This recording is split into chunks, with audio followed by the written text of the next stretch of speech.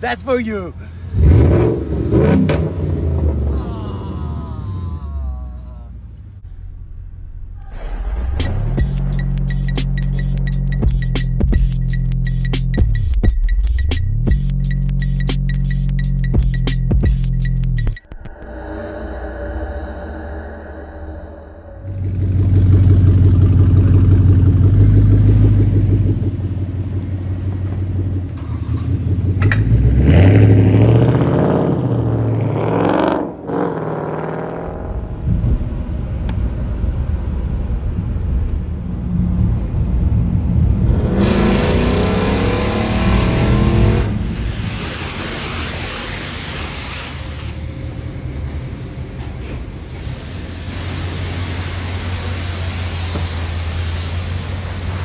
La laviamo e andiamo a provarla con John Marley. Eh. Ormai l'ho soprannominato John Marley, altro che John Marletta.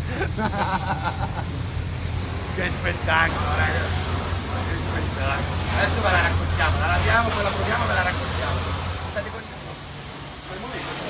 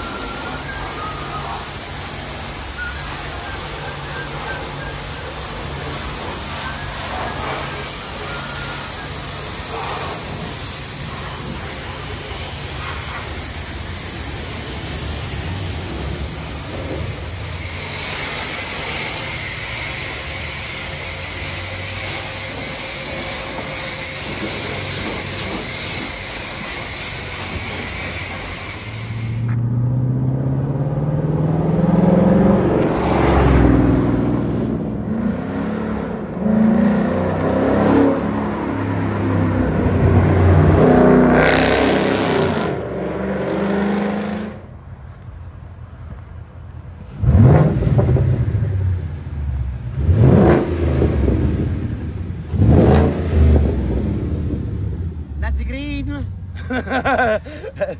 For you.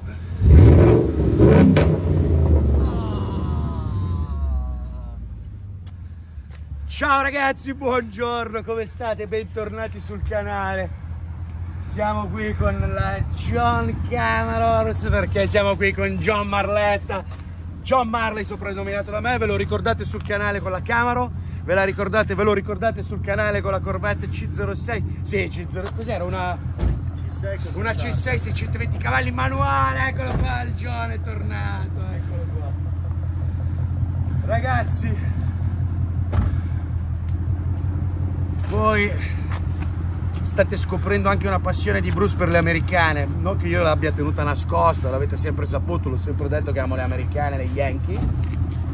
Io questa l'ho avuta nel 2005 eravamo andati a Miami, ne avevamo comprate tre Mustang e due Infinity. Torniamo in Italia, il 46 GT bianco con le strisce rosse, poi venne bombardato a livelli fantomatici, fantastici, non fantomatici, da Danetti, Max, il quale poi ci vinse il My Car Show con la nostra Mustang GT.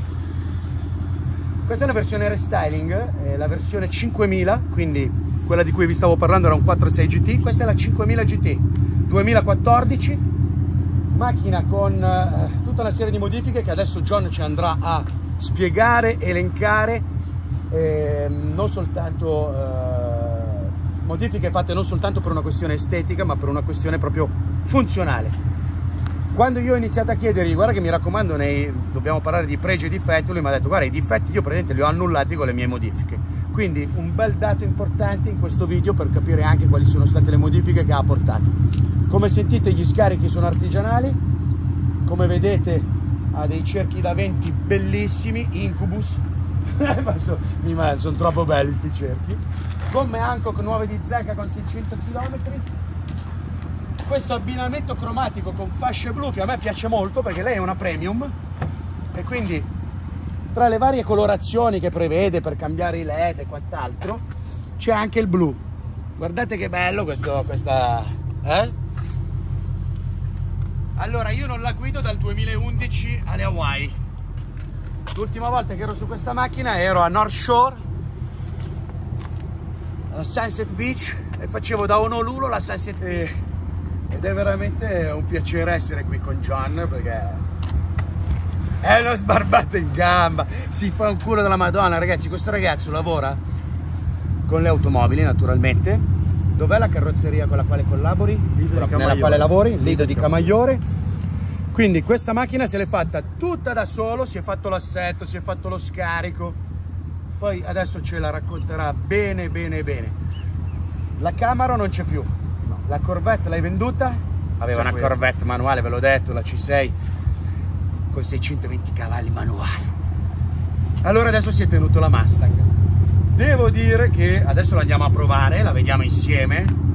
Però delle tre che ho provato, questa è quella più usabile, confortevole, 8 cilindri, non ha il limite della Camaro che era una 6 cilindri, Non è troppo non rigida è come troppo rigida come la Corvette da 620 cavalli manuale, figa che mezzo che era però.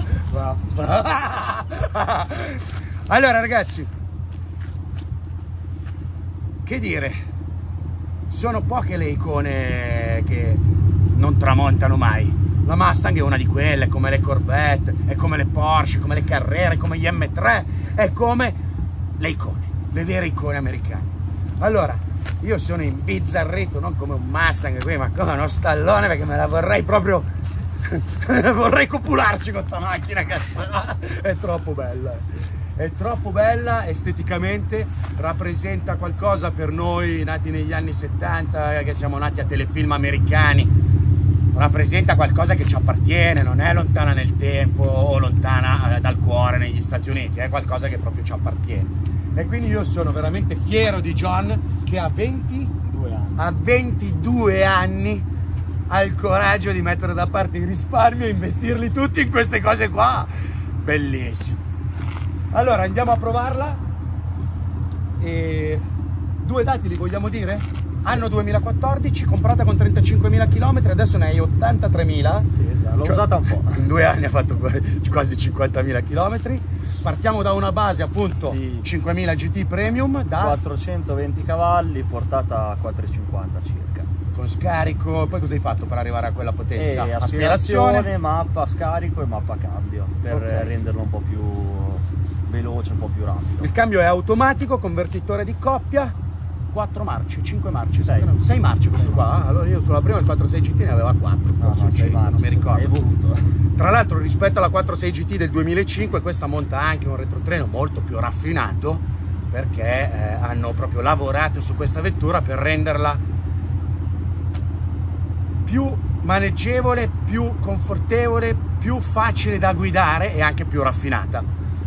Subito ho sentito questa eh, raffinatezza sul posteriore che proprio là aveva un ponte rigido, forse qualcosa del genere della 46 GT. Sì, sì, sì, assolutamente. Cioè era proprio Yankee, Yankee, Yankee antiquata. Qui c'è anche Aldo Rosso, vieni con Tachinte, vieni. Ci siamo ritrovati oggi.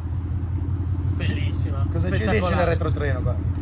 La prima, il 4.6 aveva il ponte rigido, questa l'hanno un po' europeizzata perché appunto gli americani sono amanti dei ponti rigidi. E wow, questa- wow, wow. Senti come si incazza. prende vita, è come se Bella. avesse un- ha un'anima, no? In qualche modo. Allora, il bello di queste macchine, sai cos'è Aldo? Che proprio in questi anni gli americani capivano che non potevano più stare con questi sterzi a cremagliera, letti, eh. iniziavano a renderle un po' più europee queste macchine. Chiaramente mantiene la filosofia Yankee, quindi su strada non è raffinata come una eh, Porsche o un Audi, mantiene quella violenza ignorante Come deve essere. come deve essere una Yankee, bello. che poi è il Il suo suo bello. Spettacolare, veramente. Scioccante. A me piacciono proprio queste macchine, a me piacciono proprio queste macchine. Cosa facciamo? Andiamo a provarla?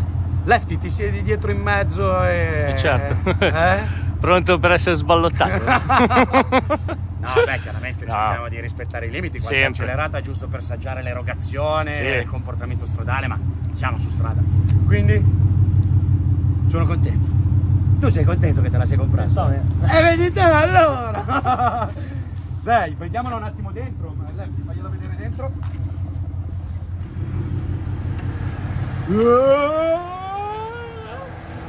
Ah!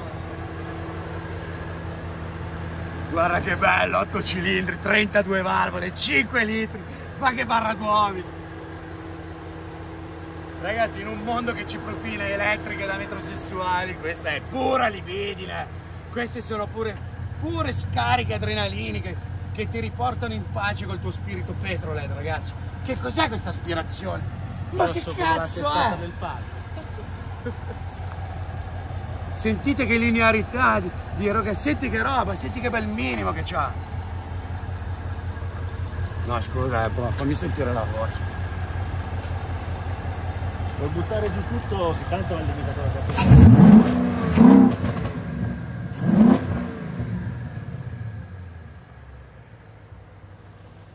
Cerchi da 20, Incubus, non l'abbiamo detto?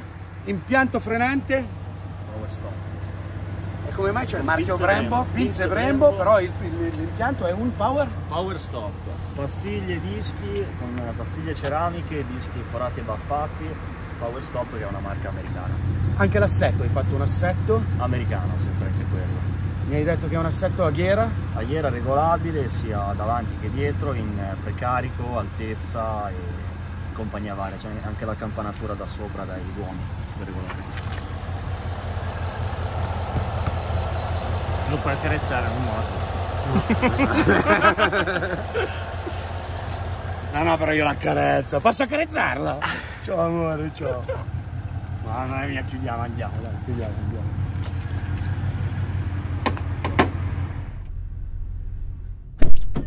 Zaza! Andiamo a provarla, raga. Perché sono così esaltato? Adesso ne parliamo insieme. per me. Perché è uno dei motivi per il quale anche John ha comprato questa macchina. Allora.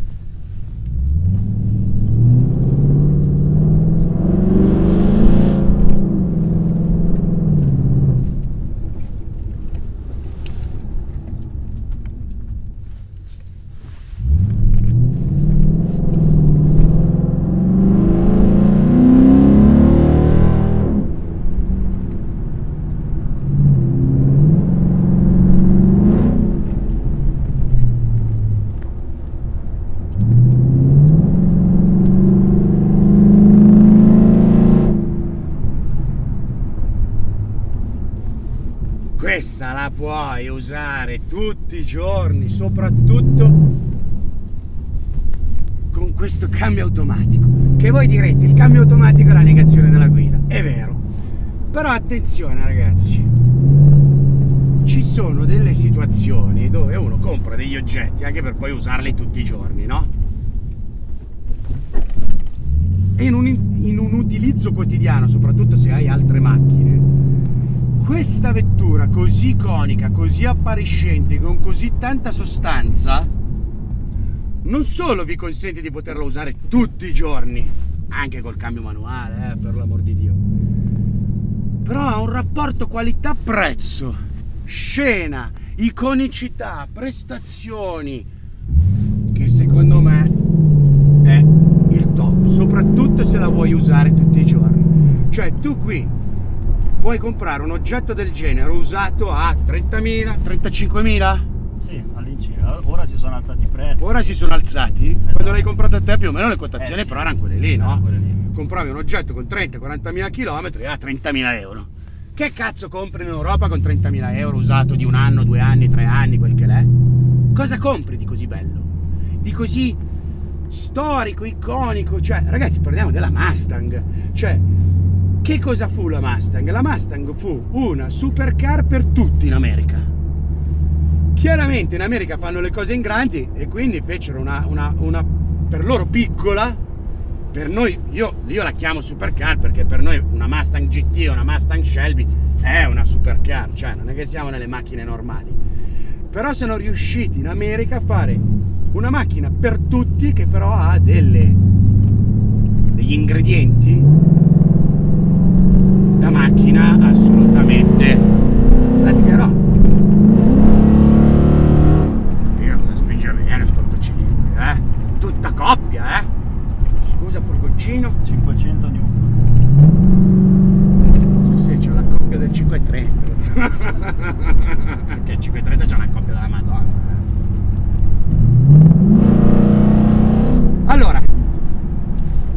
Oltre appunto a questi ingredienti che vi stavo dicendo, cioè la fruibilità. Allora, adesso non gridate allo scandalo, il cambio automatico. Il cambio automatico chiaramente ha i suoi limiti, no? Guarda, guarda, guarda che bello sta assetto, guarda che lo sto tenendo dentro un po' di sinistro, tac. Incredibile.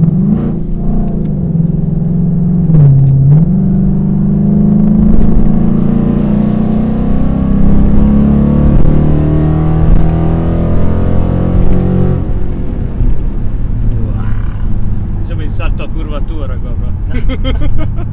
nello spazio. Allora, prime cose che voglio dire. Sterzo. Si iniziava ad avere degli sterzi europei. Iniziavano a fare degli sterzi da macchine europee.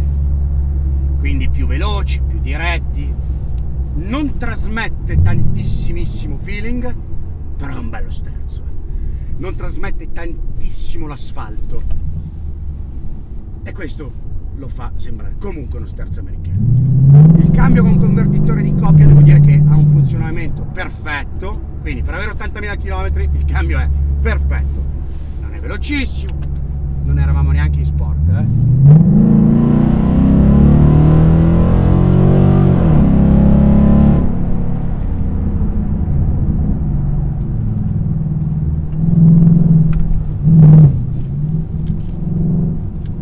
Bella maneggevole con questo assetto, cazzo!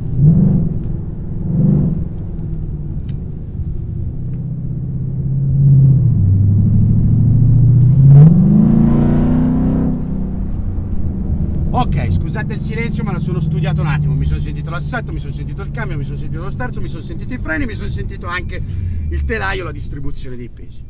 Macchina sincera, macchina che non ti scappa sotto il culo, a patto di non esagerare con lo sterzo e l'acceleratore contemporaneamente, simultaneamente. È sempre una bella trazione posteriore, potente, 500 Nm di coppia. Ripeto, questo cambio automatico su questa macchina, per chi vuole avere una macchina confortevole da usare anche nel traffico, per chi non deve andare a fare le corse, le doppiette, i puntatacco, è un bellissimo cambio. Secondo me da usare tutti i giorni. Devo dire che l'hai migliorata molto sta macchina, cazzarola. Perché l'assetto non è un assetto da 5 milioni di euro, è un assetto anche economico. Sì, di fascia media, un assetto di fa- ovviamente non voglio prendere l'assetto di Bling Blong Blanc, eh, cioè che poi mi si smonta la macchina alla prima curva. Però ho voluto prendere un buon compromesso. Come era la Corvette, cara? Una Un tavola. sasso, Una tavola, una tavola. Però ho voluto prendere un assetto che fosse un bel compromesso tra prezzo, usabilità e così via. E mm, poi ho cambiato i freni quindi le becche di questa macchina erano principalmente Ecco, i difetti. Tu l'hai presa a Esatto. 35.000 km e hai detto, aia, si Esatto. muove troppo. Esatto, era troppo ballerina, troppo morbida, acceleravi, si alzava il muso, cioè una roba troppo americana. Quindi per un utilizzo leggermente sportivo non andava per niente bene. Se Per fare- sentirla un po' più lì, Esatto, per, avere, per esatto. avere meno rollio, meno Esatto. beccheggio, più precisione di inserimento. Paradossalmente la Camaro di serie era molto più, più pronta sulla strada, era molto più mm, equilibrata e bilanciata come assetto, eccetera. Ma la Camaro che assetto avevi? Potete vedere eh, il, il video eh, della Camaro, ragazzi. La Camaro è l'assetto di serie. Quindi Ok. Camaro di serie, Mustang di serie. Però si a muoveva molto più di questa, a, eh, la live- Camaro. a livello, a livello di tenuta di strada, di serie entrambi, si comporta meglio la Camaro perché ha più telaio ed è anche più larga, è un po' più grossa. Però questa qui, una volta preparata, una volta che ci fai i giusti accorgimenti, eh, cioè, ti lascia di stucco se tu non fai parte minimamente del mondo delle americane, perché c'è il falso mito del no ma tanto non tengono la strada, vanno solo sul dritto, e figurati se fa le curve, invece non è vero. Cioè, non, so- non siamo più negli anni 70 con le macchine che curvano, eccetera. Questa va, questa va, frena a telaio, a sospensioni comunque rispondono bene con la modifica che ho fatto io. Ovviamente a macchina base di serie, effettivamente al prezzo che ha con quello che costa cosa trovi di meglio? Cioè alla fine mi ero già ritrovato il motore 5000, e l'aspirazione, la mappa al cambio, io ho dovuto fare eh, i freni nuovi, eh, gli ammortizzatori, la mappa motore, basta. Cioè, la macchina alla fine Dai. va veramente forte e tiene la strada e sta su strada. Senti, devo dire che però la Camaro aveva un baricentro più alto rispetto a, questo- a questa Mustang assettata così, eh. Eh sì, ma perché questa è assettata, quella non avevo fatto nulla. Di là dove? Non trovo la strada. Era l'altra rotonda, Bruce. L'altra rotonda si Sì, prende sì. per tornare Certo. dove eravamo? certo. Scusa John. L'altra era completamente di serie, sia come sospensioni, come molle, come tutto, quindi ovviamente si comportava in maniera diversa, in maniera diciamo peggiore rispetto a questa, perché se tu avessi provato questa quando era di serie mi avresti confermato anche tu che come tenuta di strada era superiore alla Camaro, solo che mancava il motore, mancavano i freni, mancava un sacco di roba. Ci siamo persi ragazzi. No, devi, Devo tornare al devi fare punto la rotonda, la rotonda e rientri e subito qua alla prima destra. Ok. Scusa se ti ho interrotto John.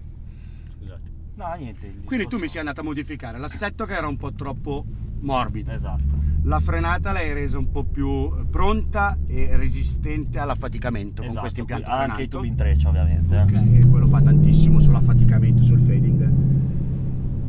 Gli altri difetti che avevi riscontrato e che sei andato a modificare quali sono stati? Essenzialmente queste erano le due situazioni che tu volevi Ma andare sì, a migliorare. Sì, alla fine altri difetti non, non ne ha, perché poi eh, è un'icona, cioè quando tu vai in giro con questa macchina lo vedono subito che è la Mustang. Sì, sì, sì, sì, E, sì. infatti anche Valli mi aveva confermato che il... il- Mauro, il- che salutiamo. Esatto, che il modello Mustang è il modello di auto più conosciuto al mondo. Perché ad esempio Ferrari è un marchio, però eh, che sia la 599, la 430, cioè è difficile che uno non esperto di macchine Non conosca la Mustang. Esatto. Ma anche un non esperto conosce esatto, le Mustang. Esatto, esatto. Senti, adesso ce l'hai da due anni e mezzo. Esatto, circa. Che cosa gli hai fatto in 50.000 km a livello di... Cioè, la macchina che cosa ti ha chiesto a livello di assistenza straordinaria? Ma io ti dico, questa qui è stata la macchina che mi ha dato meno problemi in assoluto tra le tre. Tra Camaro, Corvette. Cioè la Corvette mi ha dato un sacco di problemi perché era del 2005, era una macchina preparata da pista, cattiva come il veleno e quindi ti richiede quelle accortezze in più. Questa ci fai il tagliando, ci fai il cambio dell'olio del cambio, eh, la sostituzione dell'olio del differenziale, quattro ca- cavolate, cioè non è che ti richiede chissà che Avete sentito che urla lì sotto? Oh, sì, bravo, infatti questa è una macchina così com'è, guarda. Che puoi usare. Non ti spacca la schiena. Devo dire che l'assetto, ragazzi, andate a vedere cosa costa questo assetto. È abbastanza economico. Però per il momento ha un assorbimento dell'asperità notevole, devo dire. Poi non so se farà così 10, 20, 50 mila chilometri, eh. Vabbè, si ricompra, non è Però bravo, se non spendi 1000 euro ad anno, Esatto, esatto. cazzo, ogni 15.000 km te lo rifai Ma anche sì, l'assetto, che te sì. frega. Poi questi freni devo dire che sono per modulabilità e potenza, devo dire, molto buoni. Anche dietro è comodo.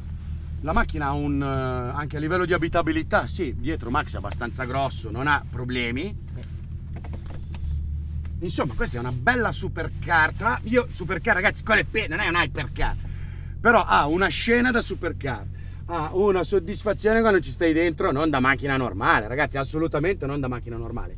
E in più ha questa fruibilità data proprio dal- dal- dalla concezione con la quale è stata progettata e migliorata questo restyling. Perché io vi posso garantire che gli esemplari del 2005 non avevano questo comportamento stradale. La macchina è la stessa, ma pensate soltanto al fatto che non abbia più quel ponte rigido dietro. Come si è raffinata la vettura su strada.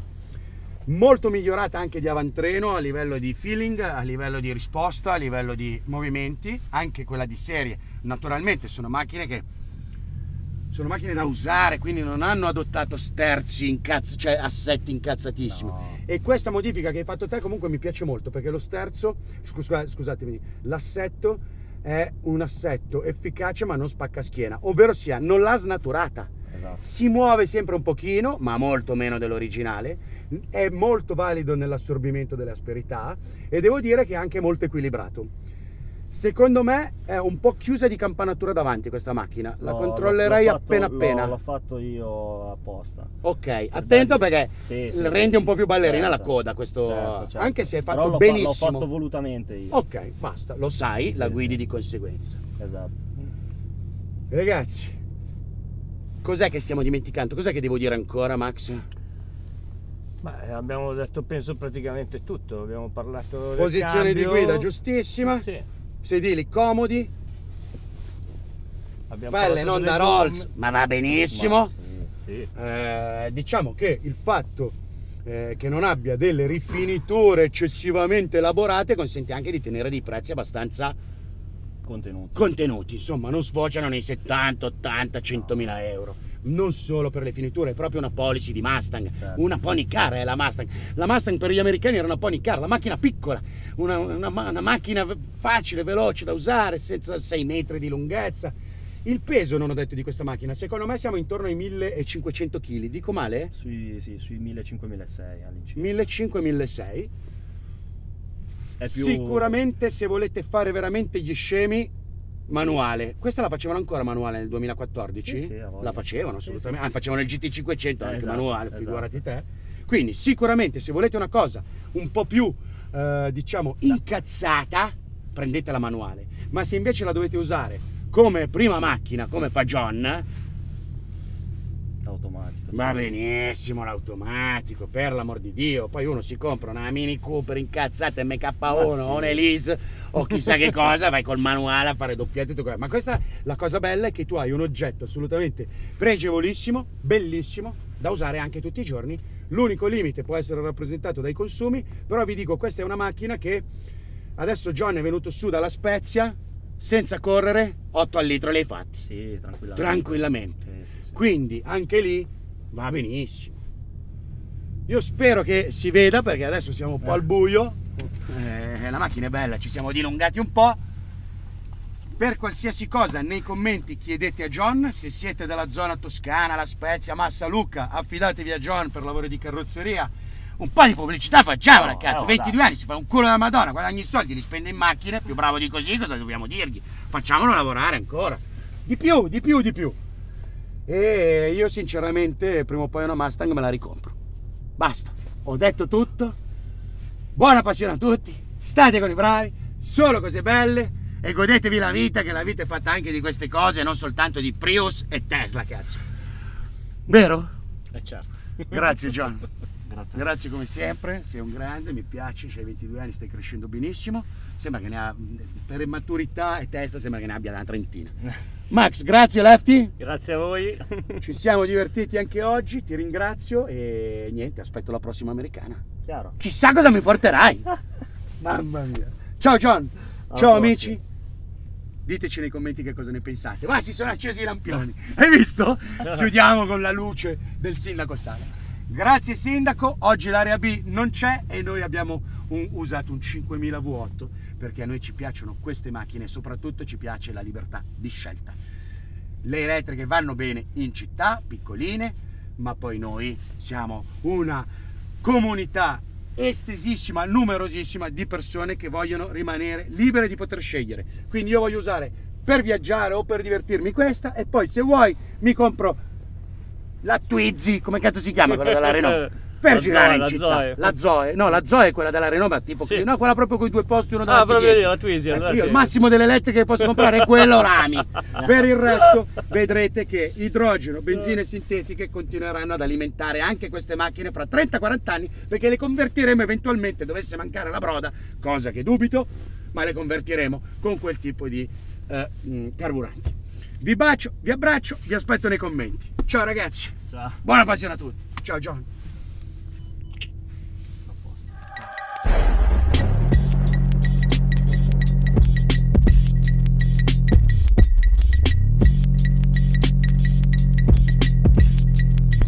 Milano, capitale della moda. È qui che trovi Evissa, lo storico negozio di montoni, pellicce e capi in pelle, garanzia di originalità e qualità italiana. Rimessa a modello della tua vecchia pelliccia o permuta sull'acquisto di un nuovo capo, anche su misura. Qualità a prezzi di produzione. Evissa, via Melzo 34, fermata Porta Venezia. Eleganza italiana ad ottimi prezzi.